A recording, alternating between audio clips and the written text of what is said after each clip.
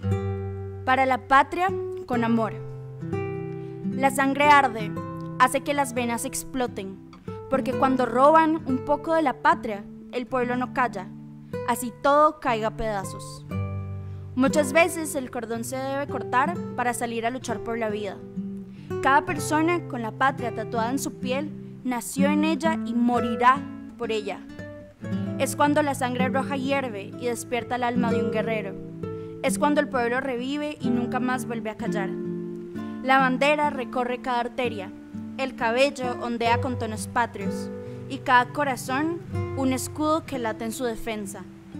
Tiene la patria en la garganta para gritar, en los brazos para luchar, en el corazón para sentir, en los ojos para llorar, en el alma para morir y en su patria la libertad de poder vivir.